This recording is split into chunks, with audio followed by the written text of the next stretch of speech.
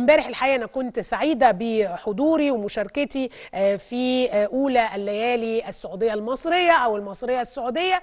مش مهم المهم إنها تعاون مصري سعودي حقيقي هيكون هنشوف له مظاهر كثيرة في السينما في المسرح في الغناء في أمور كثيرة جدا. أولى الليالي كانت في دار الأوبرا المصرية بالتعاون ما بين هيئة الترفيه السعودية وبين وزارة الثقافة وأيضا المتحدة للخدمات الإعلامية. كان في عدد طبعا كانت الوزيرة نيفين كيلاني موجودة المستشار تركي الشيخ رئيس هيئة الترفيه كان موجود عدد من قيادات المتحدة كانوا موجودين طبعا بالإضافة إلى عدد كبير من الفنانين. عدد كبير جدا من الفنانين.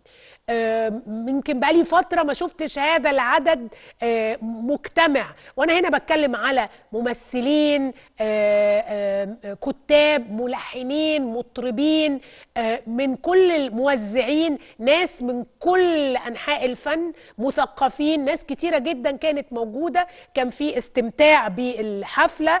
زي ما أنتم شايفين أنا كده مستمتعة جدا. كنت يعني قاعدة سعيدة في هذه الحفلة.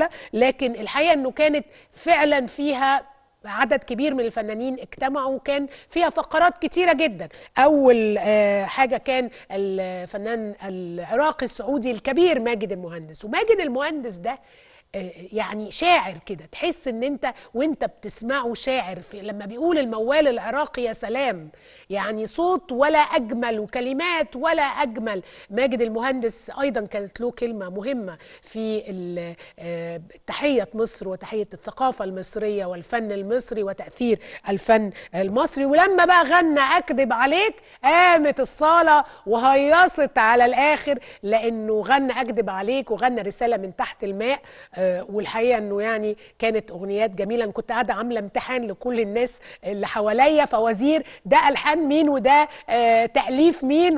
ويعني في ناس نجحت وناس سقطت بس الحقيقة إنها كانت يعني تجربة مهمة جدا.